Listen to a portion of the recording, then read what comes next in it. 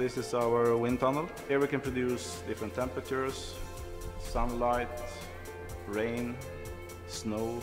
We can uh, produce cold weather up to minus 30 degrees and uh, heat up to plus 50 degrees. Uh, the car is running on a front wheel dyno. For running tests we can drive it up to 200 kilometers per hour. We can also produce air speed up to 200 kilometers per hour. And the wind is of course coming from the front of the car.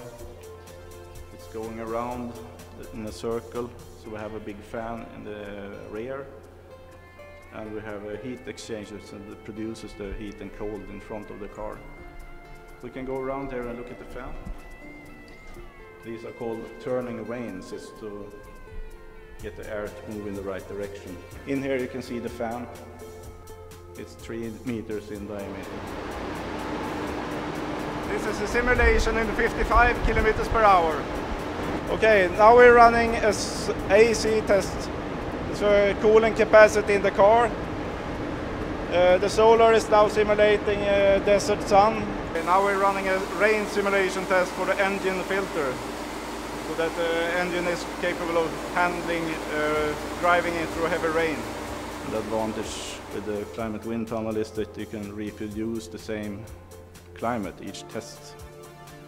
If you have two components and want to compare them, you can uh, be sure that you have the same wind, the same temperature, the same solar or the rain or snow.